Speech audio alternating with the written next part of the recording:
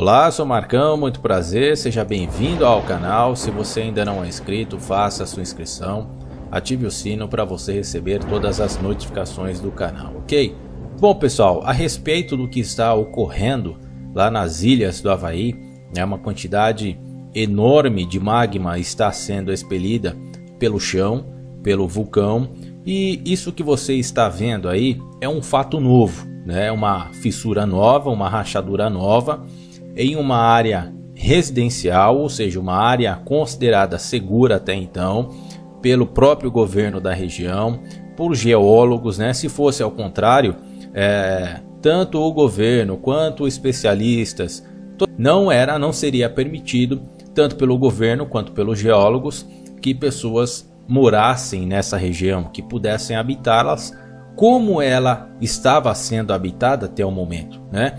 Então essa imagem é uma imagem realmente impressionante, parece uma imagem de filme, aquelas imagens de, de, de, cinema. Essa imagem aqui me lembra muito aquele filme de 2012, né? onde rachaduras começaram a aparecer no asfalto, no solo, de repente é, pequenos tremores começam a acontecer e de repente uma fenda gigantesca aparece no chão e já começa a acontecer tudo o que a gente está vendo. Parece filme, sinceramente. Mas não é, pessoal. Isso é um fato novo. E sabe qual que é? Sabe o que, que impressiona nisso? É exatamente esse fato novo. Por mais que você diga, por mais que especialistas digam que isso é normal, o normal, no meu ponto de vista, seria o que? Que essa quantidade de lava fosse expelida por onde normalmente isso ocorre, né? Pelos cones, onde já existem os vulcões, as montanhas, que, que expelem diariamente, no caso aí do Havaí, há mais de 30 anos, há mais de 35 anos, esse, esses vulcões estão ativos, né? E como eu disse, essa área era uma área considerada segura, tanto pelo governo quanto por especialistas. Então, por que que isso ocorreu? Por que, que essa nova fissura, por que, que essa nova rachadura, que por sinal uma grande fenda, uma grande fissura, né, ocorreu? Por que, que ela veio se apresentar numa área segura? Na minha humilde opinião, pessoal, isso é, agrega-se ao fato de que pode, de que, de que a Terra pode estar sofrendo sim a chamada inversão dos polos. Isso é, isso é um fato novo.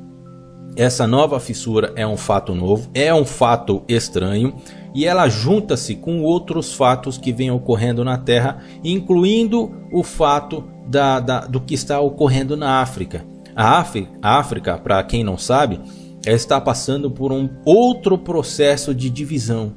Né? Se você olhar lá no mapa, se você pegar o painel global, por exemplo, e olhar a, a, a fenda de uma placa tectônica que está for, sendo formada ali, essa nova fenda de placa tectônica ela está dividindo mais uma vez uma parte da África, né? Se você olhar no mapa, você vai ver, você observa que uma parte já foi dividida muito antigamente e a outra parte também já está começando a, a se deslocar. Lembrando a todos vocês que juntando, somando-se a este fato que está ocorrendo na, na, nas ilhas do Havaí, a gente precisa fazer uma consideração a respeito do que ocorreu aqui no Brasil quando houve aquela réplica, né? Segundo os especialistas, o que houve, é, aquele, aquele terremoto que houve recentemente, recentemente aqui no Brasil, foi por conta do terremoto que houve na Bolívia. Só que esse terremoto que houve na Bolívia, né, que os especialistas afirmam que houve esses terremotos aqui no Brasil por conta dessa réplica, ele fica muito próximo da placa tectônica que está próximo ao Chile. Ou seja, é muito mais provável que é, aquelas regiões, o Chile, a Bolívia, toda aquela região ali onde se situa, onde eles estão muito próximo da placa tectônica, é muito mais provável que ocorram terremotos. Diferentemente aqui do Brasil, né? Então, segundo os especialistas, e aí eu discordo, inclusive ouvi especialistas que discordaram dos outros especialistas e disseram que os terremotos que houve por conta dessa suposta réplica por conta desse, desse terremoto na Bolívia, não é normal. Não foi normal, contrariando a opinião de alguns especialistas que disseram que esse tremor, é, essa réplica que, que houve em vários estados no Brasil, é normal. E não é. Na minha visão e na visão de alguns especialistas, os terremotos que foram causado, causados por essa suposta é, é, réplica desse terremoto na Bolívia não é normal. Então, se a gente for juntar todos esses fatos, inclusive esse fato novo que está ocorrendo no Havaí, uma fissura nova em uma área residencial, em uma área que é considerada, era considerada segura, muitas pessoas já deixaram o local.